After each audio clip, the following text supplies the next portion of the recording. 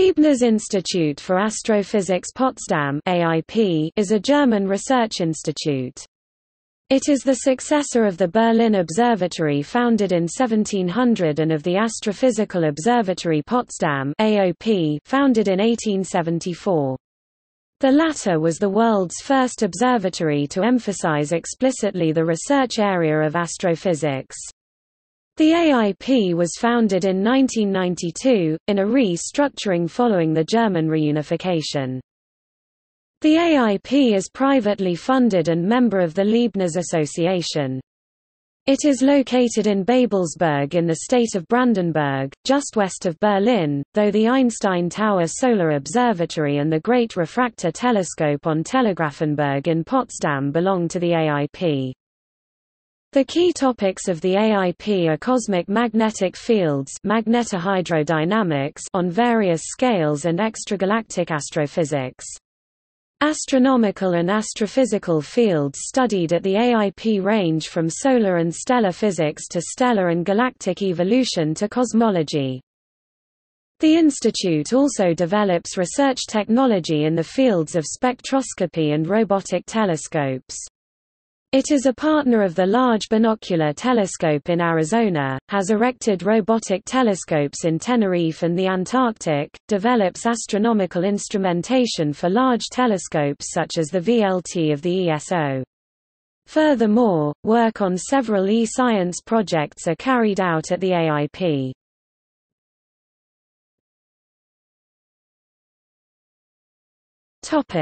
History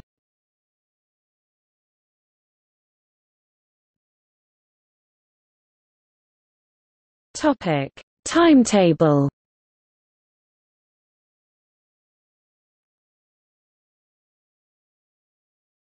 Topic: Origin.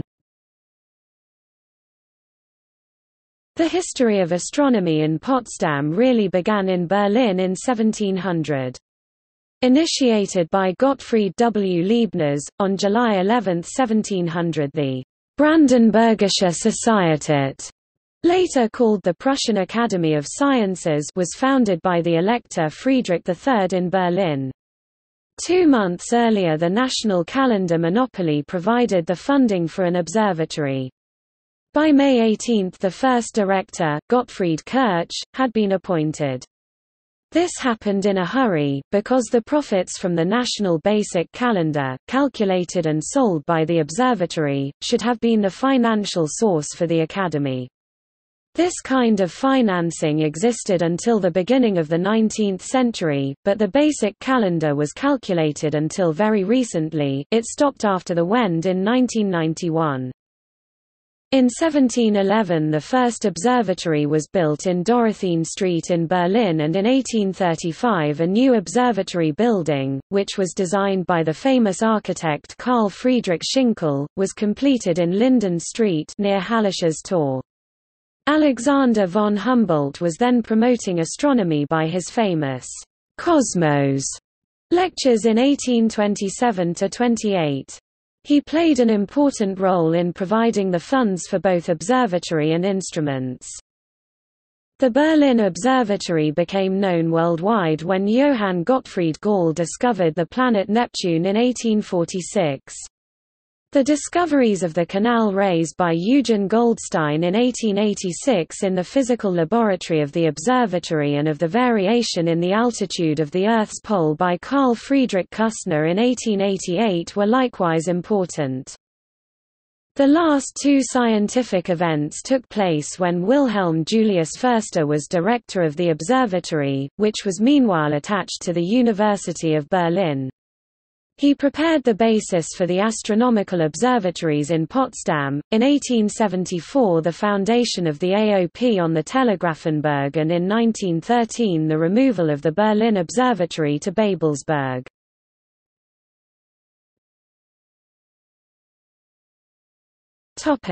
Foundation of the Astrophysical Observatory Potsdam AOP In the middle of the 19th century spectral analysis was developed by Gustav Kirchhoff and Robert Bunsen. It enabled the acquisition of information on the physical parameters and chemical abundances of stars, by the spectral analysis of their light. Förster recognized these possibilities and initiated the building of a solar observatory in 1871 as a memorial to the Crown Prince, in which he emphasized the importance and profit of solar research. This idea was soon extended to the whole of astrophysics. The site of the observatory was chosen on a hill south of Potsdam, the Telegrafenberg, on which had been, from 1832 to 1848, a relay station of the military telegraph from Berlin to Koblenz. On 1 July 1874 the AOP was founded. Even before the construction of the observatory had started in the autumn of 1876, solar observations were being made from the tower of the former military orphanage in Linden Street in Potsdam by Gustav Spörer. The construction work started in 1876, the main observatory building and its equipment were finished in the autumn of 1879. The AOP was managed by a board of directors comprising Wilhelm Julius Förster, Gustav Kirchhoff and Arthur Auwers. In 1882 Karl Hermann Vogel was appointed as sole director of the observatory. The main focus of his work was now on stellar astrophysics.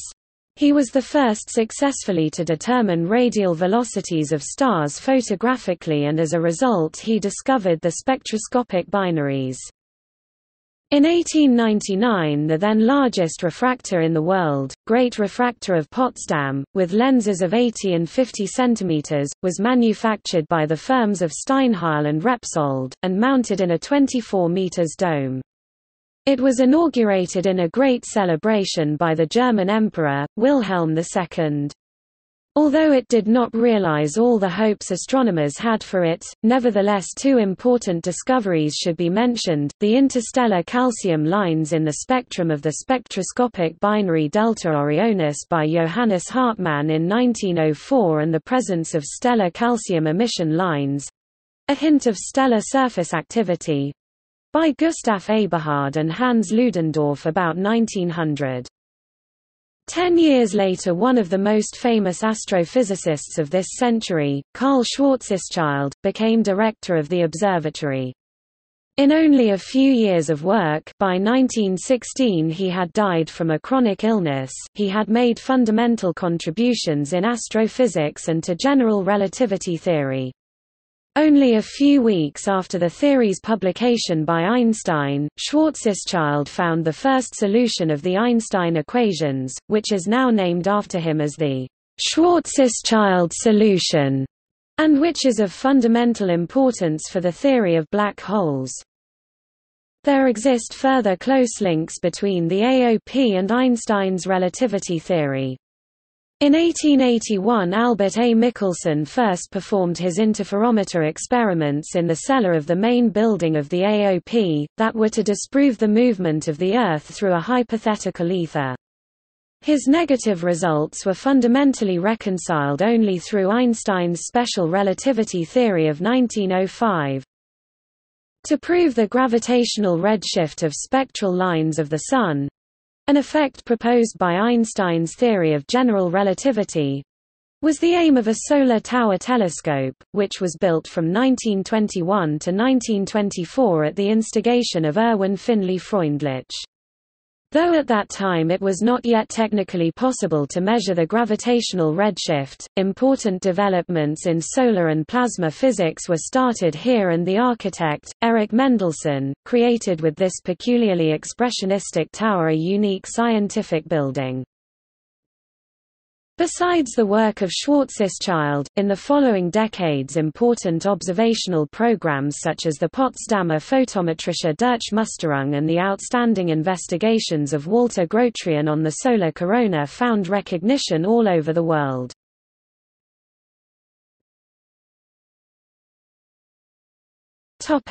Relocation of the Berlin Observatory to Babelsberg At the end of the 19th century the Berlin Observatory, originally built outside the border of the town, was enclosed by blocks of flats, so scientific observations were almost impossible. Therefore, Förster proposed the removal of the observatory to a place outside Berlin with better observational conditions. In 1904 he appointed Karl Hermann Struve, former director of the Observatory of Königsberg, as his successor to realize this project. After test observations by Paul Guthnick in the summer of 1906 a new site was found on a hill in the eastern part of the Royal Park of Babelsberg. The ground was placed at the observatory's disposal by the Crown free of charge. The costs of the new buildings and the new instruments amounted to 1.5 million goldmark and could be covered by selling the landed property of the Berlin Observatory. The old observatory built by Schinkel was pulled down later. In June 1911 the construction of a new observatory began in Babelsberg and on 2 August 1913 the removal from Berlin to Babelsberg was complete. The first new instruments were delivered in the spring of 1914. The 65 cm refractor the first big astronomical instrument manufactured by the famous enterprise of Carl Zeiss Jena was mounted in 1915, whereas the completion of the 122 cm reflector telescope was delayed until 1924 by the First World War. Struve died in 1920 from an accident, and his successor was Paul Guthnick, who introduced in 1913 photoelectric photometry into astronomy as the first objective method of measuring the brightness of stars. When the 122 cm telescope at this time the second largest in the world was finished, the Babelsberg Observatory was the best equipped observatory of Europe. The development of the photoelectric method for investigating weakly variable stars and spectroscopic investigations with the 122 cm telescope made the Babelsberg Observatory well known beyond Europe, too. At the beginning of 1931 the Sonneberg Observatory founded by Cuno Hoffmeister was attached to the Babelsberg Observatory. For more than 60 years a photographic sky survey was carried out, which represents the second largest archive of astronomical photographic plates. This archive and the discovery and investigation of variable stars popularized the name Sonneberg all over the astronomical world. With the beginning of the fascist regime, the fortunes of astronomy in Potsdam as well as in Babelsberg started to decline. The banishment of Jewish co-workers played an essential role in this process. The beginning of the Second World War practically marked the cessation of astronomical research.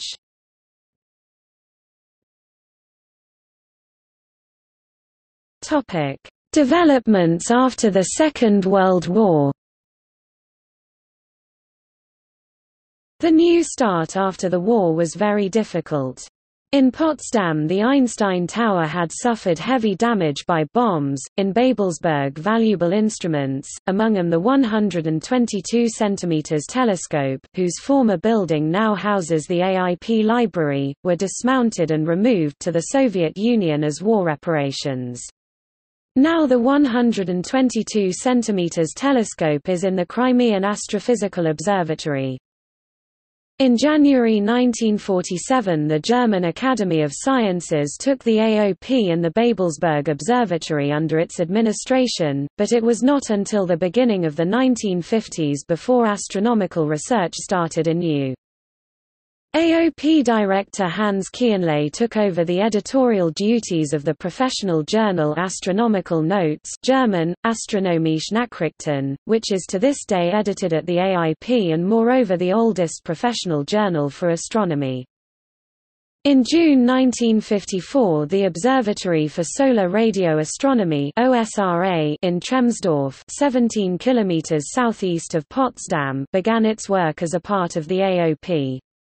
Its history started in 1896, after the discovery of the radio waves by Heinrich Hertz in 1888. Johannes Wilsing and Julius Scheiner, fellows of the AOP, tried to detect radio emission from the Sun. They did not succeed, because of the low sensitivity of their equipment. After the Second World War Herbert Donner started once again to attempt radio observations of the Sun in Babelsberg which were continued in Tremsdorf.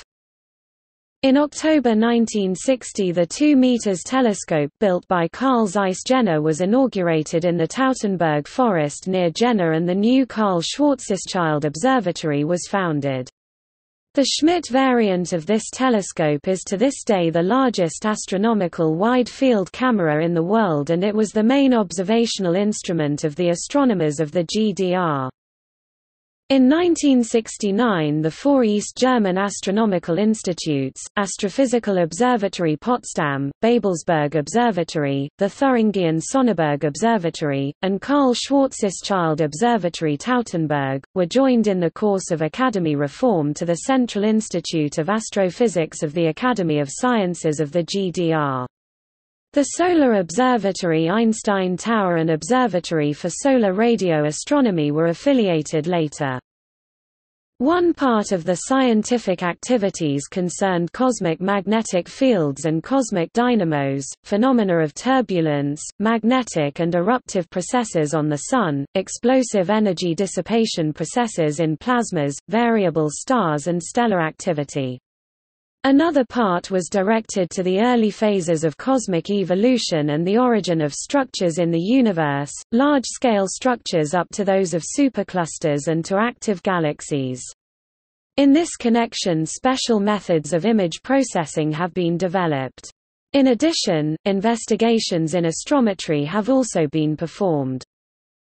The scientific work of the Central Institute for Astrophysics suffered strongly from the isolation of the GDR from the Western world. It was very difficult to come into contact with Western colleagues. After the autumn 1989 fall of the Berlin Wall, new possibilities at once arose.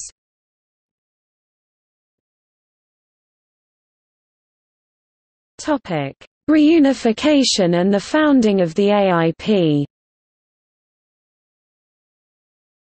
On the basis of the prescriptions of the Unification Agreement for the Academy of Sciences of the GDR, the Central Institute of Astrophysics was dissolved on 31 December 1991. On the recommendation of the Science Council on 1 January 1992 the Astrophysical Institute Potsdam, with a greatly reduced staff, was founded. It occupies the former Babelsberg Observatory site in Potsdam-Babelsberg.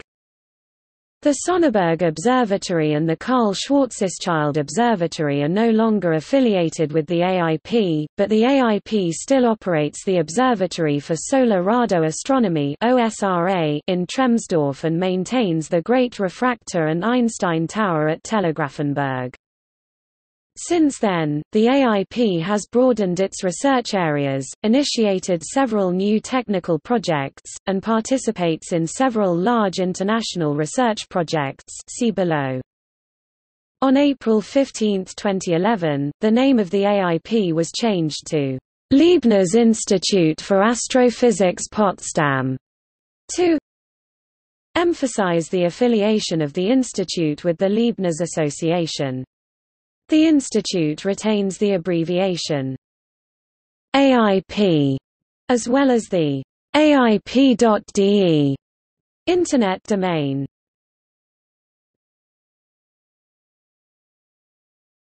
Topic: Main research areas.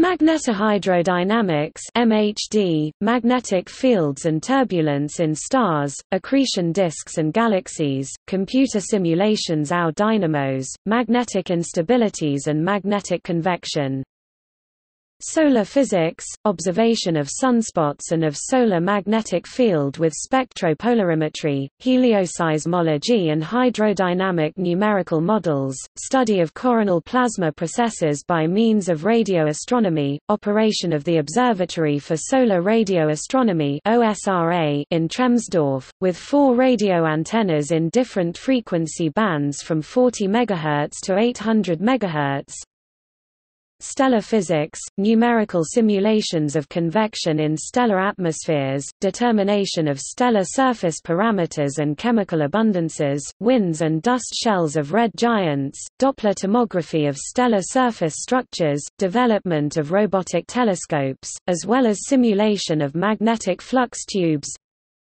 Star formation and the interstellar medium, brown dwarfs and low-mass stars, circumstellar disks, origin of double and multiple star systems, galaxies and quasars, mother galaxies and surroundings of quasars, development of quasars and active galactic cores, structure and the story of the origin of the Milky Way, numerical computer simulations of the origin and development of galaxies, Cosmology, numerical simulation of the formation of large-scale structures.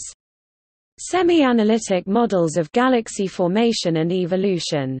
Predictions for future large observational surveys.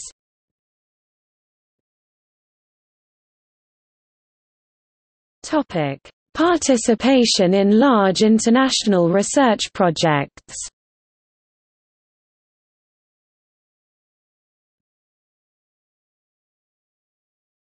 Topic: Large Binocular Telescope. The Large Binocular Telescope (LBT) is a new telescope on Mount Grahams in Arizona. The LBT consists of two huge 8.4 meters telescopes on a common mount. With their 110 square meter area, the LBT is the largest telescope in the world on a single mount, only surpassed by the combined VLTs and Keck's.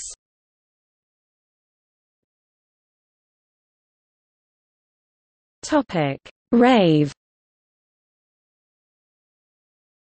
The radial velocity experiment measures until 2010 the radial velocities and elemental abundances of a million stars, predominantly in the southern celestial hemisphere. The 6 decifarads multi-object spectrograph on the 1.2 meters UK Schmidt telescope of the Anglo-Australian Observatory will be applied for this purpose.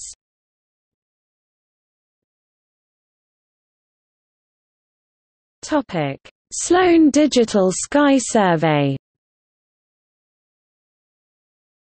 The Sloan Digital Sky Survey SDSS will investigate in detail a quarter of the whole sky and determine the position and absolute brightness of more than 100 million sky objects.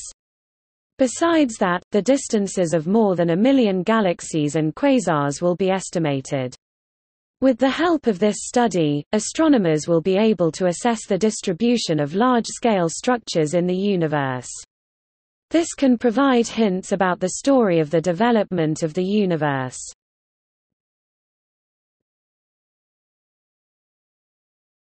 Topic: LOFAR low frequency array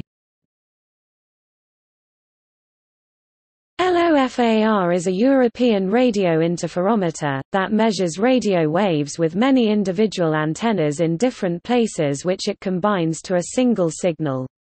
One of these international LOFAR stations will be presently constructed by the AIP in Bornim by Potsdam.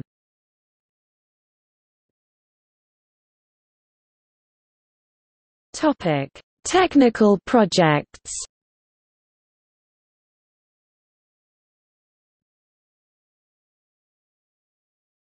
Topic: Virtual Observatory. The German Astrophysical Virtual Observatory is an e-science project, that creates a virtual observation platform to support modern astrophysical research in Germany. It is the German contribution to international efforts to establish a general virtual observatory. GAVO enables standardized access to German and international data archives.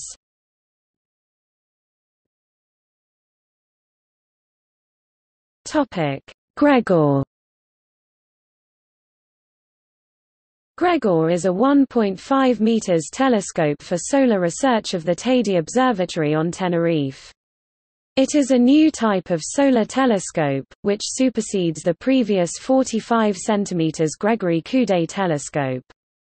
Gregor is equipped with adaptive optics and will achieve a resolution of 70 km of the Sun's surface.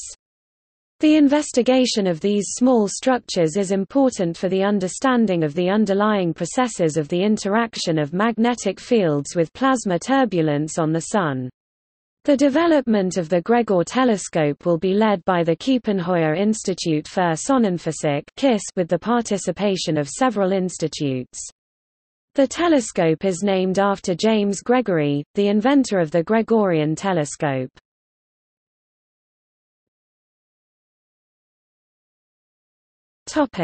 AGWs of the Large Binocular Telescope.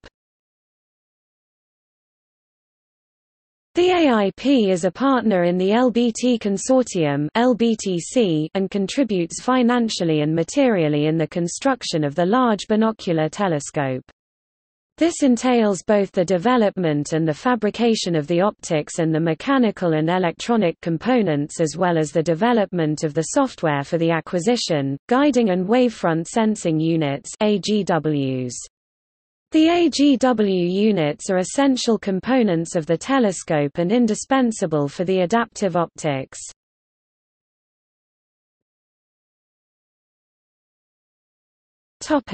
Multi-Unit Spectroscopic Explorer The Multi-Unit Spectroscopic Explorer is an instrument of the second generation for the VLT of the ESO.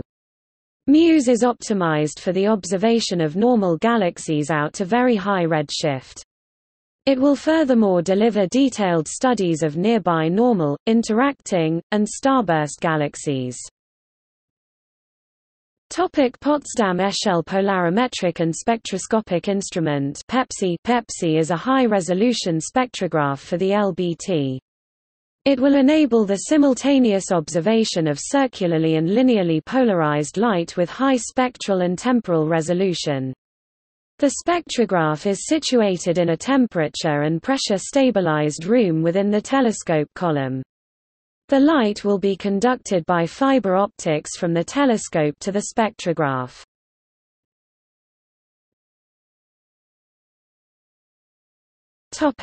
STELLA STELLA is a robotic observatory that consists of two 1.2 meters telescopes. It is a long-term project to observe indicators of stellar activity of Sun-like stars. The operation occurs unattended. The telescopes decide the appropriate observation strategy automatically.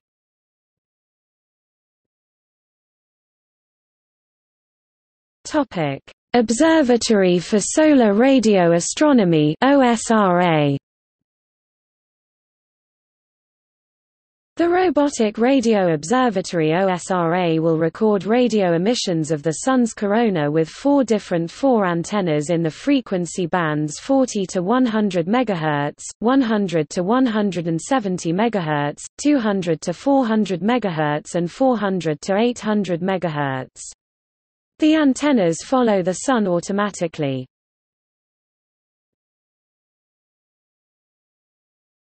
Topic Telescopes and collaborations. Einstein Tower Solar Telescope. Great Refractor at Telegrafenberg Gregor Solar Telescope, collaboration with KISS. Large Binocular Telescope Meridian Circle OSRA Solar Radio Observatory in Tremsdorf Robotel Robotic Telescope STELLA Robotic Telescope Vacuum Tower Telescope VTT, collaboration with KISS Zeiss 70 cm Reflector Telescope Zeiss 50 cm Reflector Telescope Zeiss Refractor Telescope Notes